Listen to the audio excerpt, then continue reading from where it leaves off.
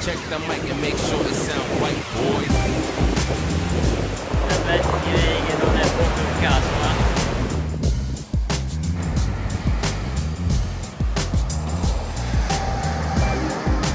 Che dite? Domani si può entrare? Mai dire mai.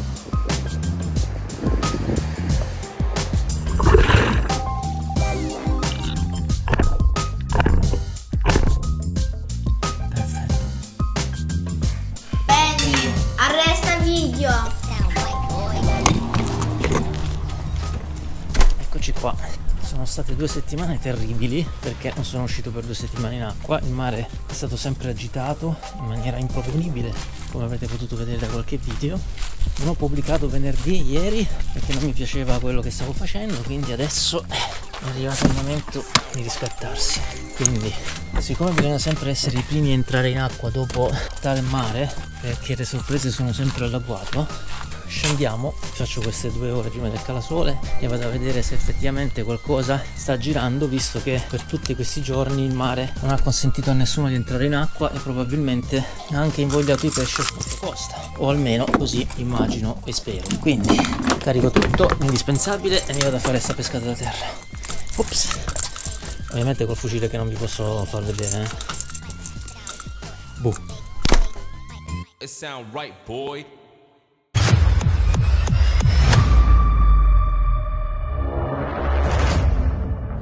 Oh, eccomi qui, pronto sulla mia macchina da pesca. In queste occasioni utilizzo la macchina per questi piccoli spostamenti. Io abito proprio qui sul mare, quindi mi vesto scendo giù in pochissimo tempo. Scenderò in una zona che ancora mi consente di entrare perché nonostante il vento abbia mollato e il tempo sia bello, comunque ancora il mare ha una forte risacca, quindi non ho intenzione di rischiare uscendo dagli scogli e quindi uscirò da una zona sabbiosa. C'è sempre questa forte tensione ed entusiasmo prima di entrare in acqua quando ci sono queste condizioni, ovvero tempo brutto per tanti giorni che non ha consentito a nessuno di pescare, pescatori professionisti o pescatori con le canne e ha anche generato nei pesci una certa frenesia alimentare perché con lo sbattimento delle onde sulla costa ovviamente si crea tutta quella catena alimentare che poi spinge i pesci in acqua. Per essere i primi ad approfittare di questa situazione. Stamattina sono andato a vedere a controllare il mare, non ho visto nessuno in acqua, incrociamo le dita, so comunque che nessuno è sceso in questi giorni e vado a provare adesso di che si tratta, probabilmente magari sfrutto anche domani, visto che sono due settimane come vi ho detto che sono rimasto a secco, non ho contenuti ma soprattutto ho voglia di entrare in acqua, ce la faccio. Sono con il mio Fury, il Fury 85, al quale rispetto all'altra volta ho cambiato un attimo l'allestimento, ho messo un'asta da 7 con doppia letta, non so cosa aspettarmi in realtà, ma mi immagino una stabilità del tiro, una potenza ragguardevoli, quindi lo provo vedo, vedo come va. Però il fucile ha veramente tanta potenza, quindi un'asta da 7 secondo me va anche bene. Comunque, mando le ciance, praticamente sono già arrivato, adesso mi fermo, mi vesto e scendo in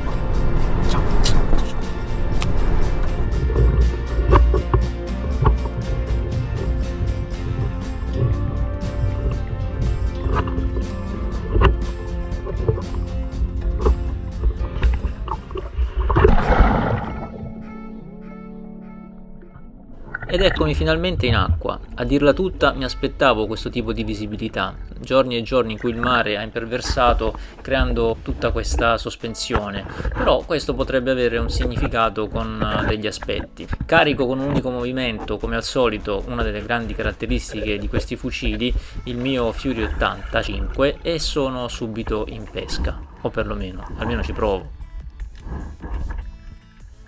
I più esperti potranno notare dal fluttuare delle varie alghe e del materiale che effettivamente la risacca è abbastanza forte. In questa prima fascia la visibilità è davvero scarsa, però ci provo. Sono condizioni ideali per eventuali predatori.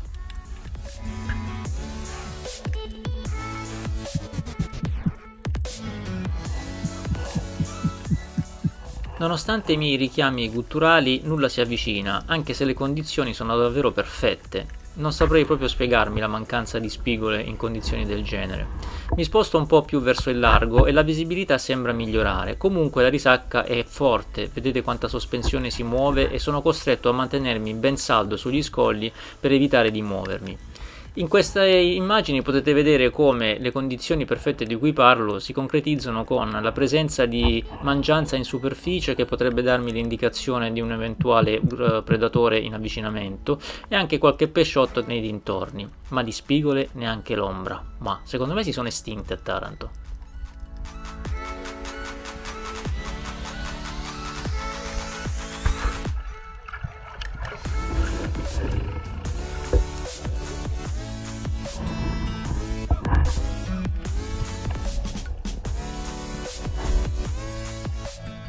Sono ormai arrivato sulla linea di costa e anche qui le onde sono molto poderose. Nonostante sia sballottato da una parte all'altra, riesco a gestire perfettamente questo fucile che direi delle dimensioni davvero compatte e ideali.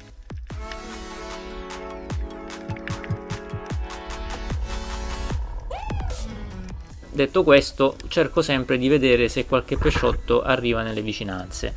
Vengo attratto un attimo dietro questo scoglio da un lampo di luce. Penso che ci sia qualche pesce che si sta allontanando, probabilmente si è spaventato a causa dei movimenti che faccio. Ma decido di tirare l'aspetto e cercare di vedere se qualcosa si avvicina. Taglio un po' le immagini come al solito purtroppo per non potervi mostrare il fucile, ma guardate questa bella azione di caccia. Alla mia destra mi rendo conto che sta, si sta materializzando un bel pesce, dall'alto sta scendendo verso di me una bellissima orata, guardate un po' è a distanza e mi obbligo a tirare a una distanza che io non considero confortevole. Voglio provare il fucile e decido comunque di sparare, ma il pesce viene bloccato. Davvero un ottimo tiro.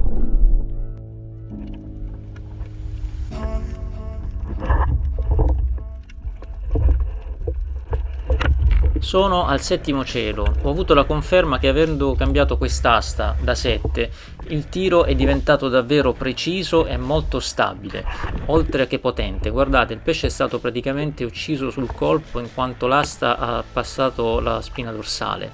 Che fantastica emozione. Comunque in una situazione del genere dove ti aspetti predatori dappertutto, cosa ti arriva? Una bella orata. Beh, sono proprio soddisfatto. Aver battuto la titubanza di tirare così lontano a un pesce in queste condizioni mi rende davvero soddisfatto e mi fa capire l'importanza nella prova di queste armi in mare.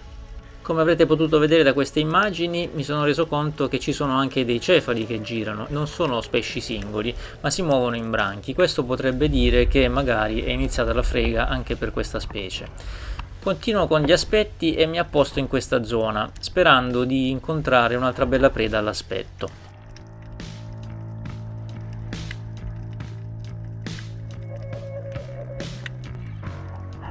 Questo aspetto è perfetto e anche abbastanza lungo. L'idea di poter incontrare un predatore però mi farà commettere un grave errore. Appena mi accorgo che il branco di cefali viene verso di me, esito perché voglio aspettare che lo stesso scorra con la speranza che in coda al branco possa esserci presente la fatidica spigola. Ma tutto questo mi farà perdere l'occasione e il momento giusto. Il branco si allontanerà e questo sarà quello che succede. Ho sparato troppo tardi, un pesce in allontanamento e con la sagoma molto piccola. Avrei dovuto sparare all'inizio senza aspettare la spigola maledetta che non arriverà mai. Però, siccome sono capatosta, decido comunque di rimanere all'aspetto anche in pochissima acqua, nonostante il mare mi sballotti da una parte all'altra. In questa occasione, dalla mia sinistra, alle spalle, guardando con la testa, mi rendo conto che appare all'improvviso un cefalo, che mi ha fatto fesso, penso, tra me e me. È scomparso dietro questa roccia, però rimango ancora teso e attento perché lo riesco ancora a vedere. Decido quindi di sporgermi dallo scoglio e andargli incontro. Il pesce è lontano, ma alla fine riesco a sparare un altro tiro molto lungo e preciso che arriverà a segno. Davvero sto prendendo molta confidenza con questo fucile e questo è il risultato.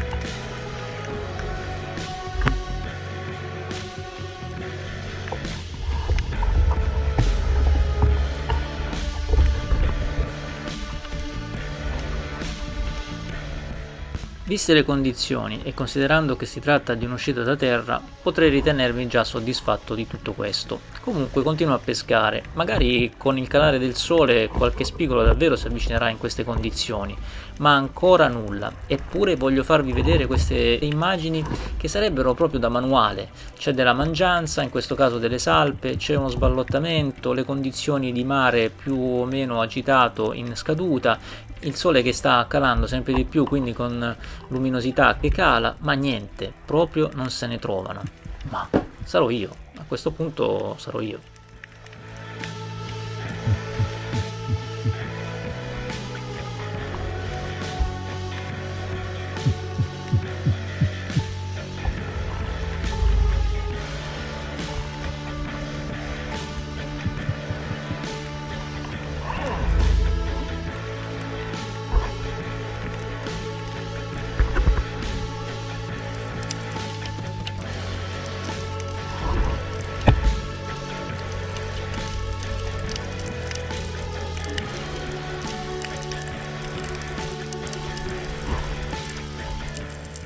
Ormai siamo vicini al tramonto, decido di fare qualche agguato in questo basso fondale tra gli scogli anche per provare l'arma in queste condizioni e anche qui il fucile mi stupisce perché è davvero facilmente brandeggiabile e gestibile sia in elevazione che brandeggio.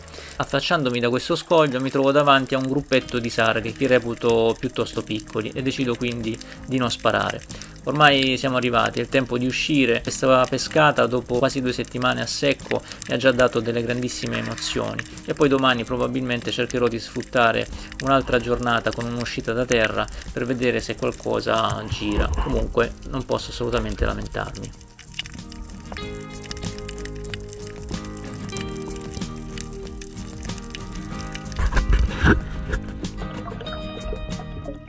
Ritorno sulla sabbia in modo tale da avere un'uscita confortevole. Quando ci sono queste condizioni lo faccio sempre. Evito di uscire sugli scogli e ritrovarmi in condizioni pericolose per l'uscita, anche se il mare è decalato. Comunque, questo posto mi dà sempre delle forti emozioni. Vivere la natura in maniera così diretta, a contatto col mare, proprio sotto casa, è veramente impareggiabile e godersi un tramonto dopo dei pesci presi in questa maniera è veramente fantastico.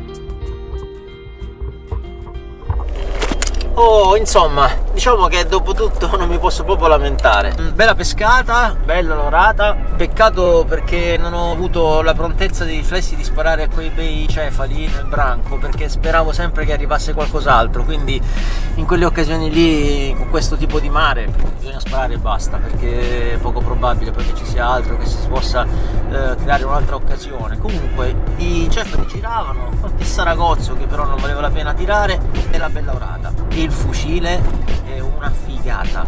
Con quest'asta il tiro è veramente pieno, preciso e potente. Se poi potevo dire qualcosa, qualcosina in meno, forse leggermente lunga, quei 3 cm in più che le danno un po' di peso in punta. Si può regolare, secondo me l'asta da 7 è perfetta per questo fucile. Comunque, adesso ne parlerò con Enrico e vedremo che cosa fare. Ah, va bene, dai, andiamo a casa, sistemiamo le cose e vi faccio vedere il carniere.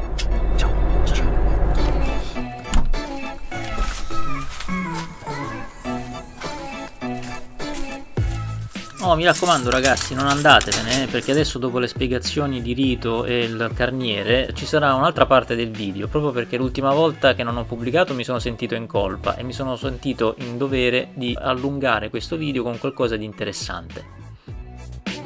Oh, insomma, eccomi qua, sono a casa, adesso mi sistemo tutte le cose, probabilmente esco anche domani, ma da terra visibilità forse non ne vale la pena e poi rimonta comunque il mare domani pomeriggio. Comunque, adesso vi faccio vedere il pescato.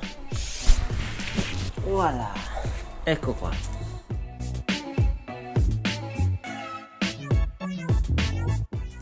bella orata il cefalo preso con un bellissimo tiro. Orata bella. Ecco qua comunque.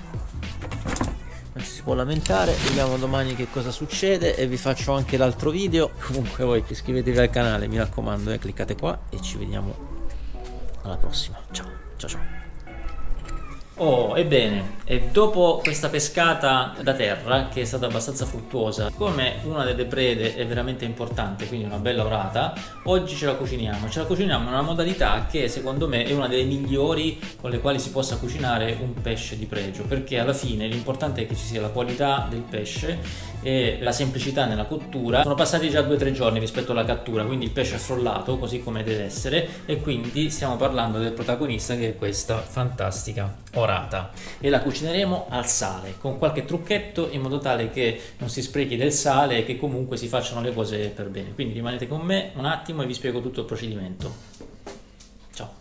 Oh, si inizia come al solito a pulire l'orata, la risceliamo e manteniamo comunque le squame perché ci serviranno ovviamente come protezione. O oh, se avete la possibilità, il pesce, tiratelo fuori dal frigo qualche mezz'oretta prima, in modo tale che le carni già cominciano a rilassarsi ed essere meno fredde, perché poi nella cottura, così un po' come per la carne, bisogna sempre iniziare con la temperatura del pesce non troppo bassa. Vado ad aprire quest'orata, vi voglio far vedere, probabilmente troveremo all'interno tutto ciò di cui si ciba ed è veramente ogni volta uno spettacolo controllare all'interno e rendersi conto di quello che questi animali mangiano.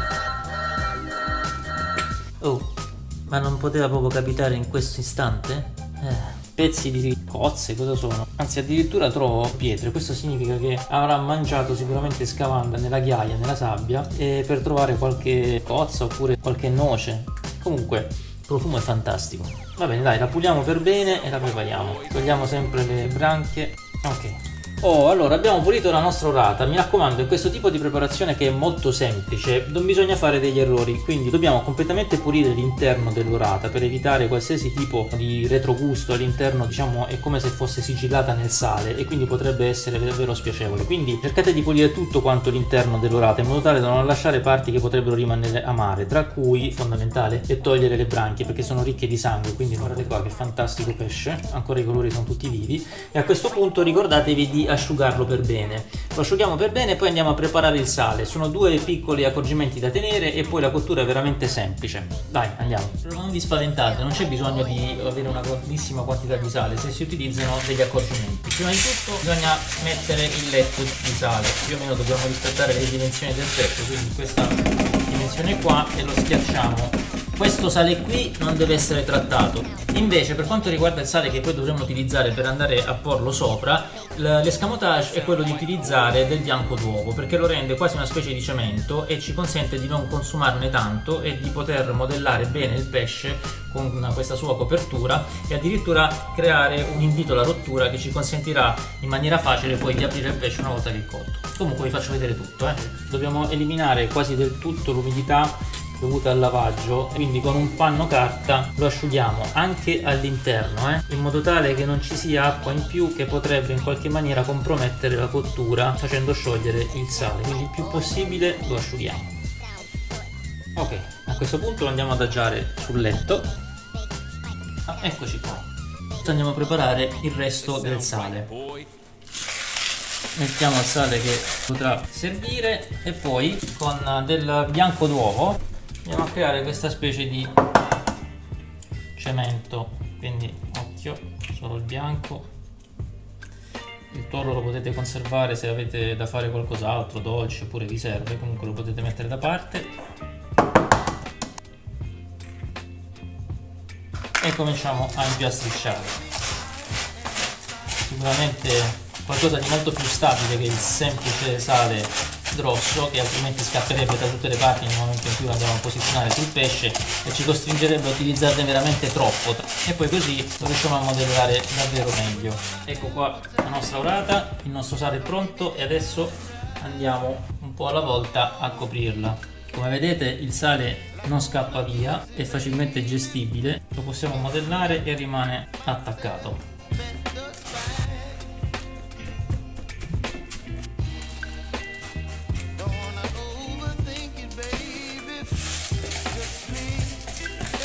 ok Abbiamo creato questo strato di protezione del sale che ci consentirà di cucinare il pesce mantenendo tutta la sua umidità. Questo sale diventerà durissimo. Abbiamo utilizzato poco sale grazie a questo escamotage del, dell'uovo. Adesso non ci resta che creare comunque un invito alla rottura perché altrimenti sarà veramente complicato rompere il sale una volta che dovremo poi aprirlo per mangiare. Facciamo questo semplicemente tracciando una linea in questa maniera. Come vedete si creerà un invito alla rottura che poi sarà facilmente impiegabile con un cucchiaio, un coltello. Riusciremo a spezzare in due il sale e a non rovinare il pesce.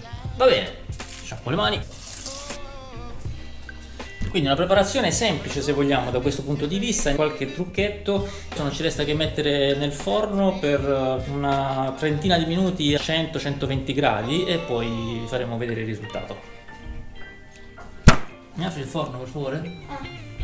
Ecco qua, un assistente, qua, forno.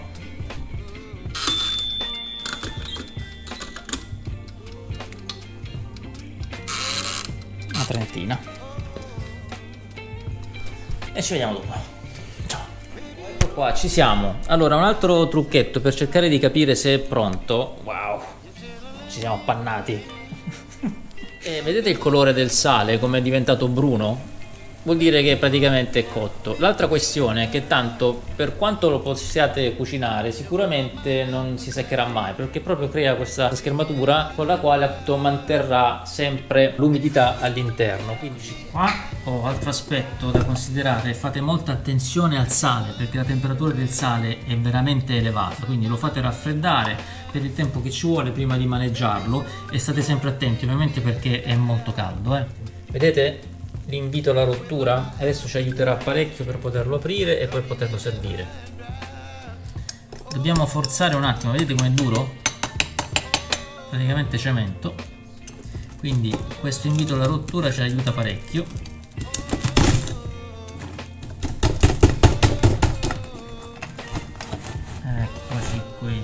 Attenzione che questi pezzi come ho detto sono veramente bollenti eh.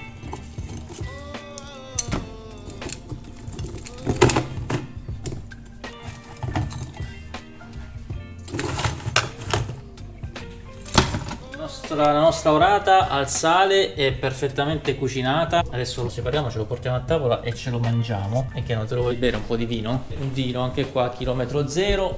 Lizzano Canulli che è un bel rosato questa volta eh? non stupite di questi tappi ormai siamo tutti così. Tutto a chilometro zero. Orata presa sulla litoranea vino della litoranea olio anche della litoranea chilometro zero qualità del prodotto semplice la preparazione e ottimo risultato vabbè intanto salute carne ancora umida, succosa, perfetta. Spettacolo. Fate attenzione, il sale potrà sempre rimanere un po' attaccato, comparire anche nel piatto. Fate attenzione un attimino, ma eh, ci sta, eh.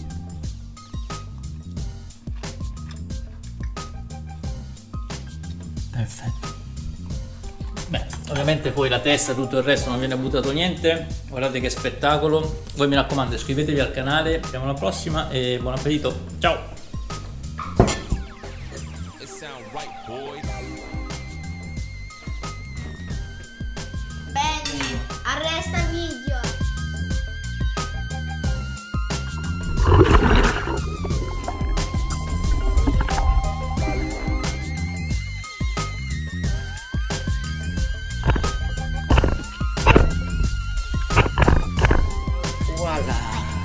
Sound right, boy.